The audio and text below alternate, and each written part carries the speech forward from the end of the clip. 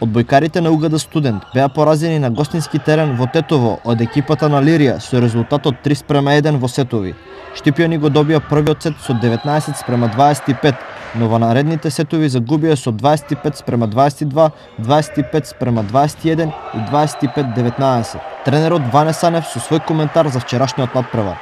Искуството го каже своето, доста доста по повозрастна екипа е екипата на Лирија, иако ослабнати без капитенот Прги Крстевски, кој што не беше да на надпреварот поради оправдани причини.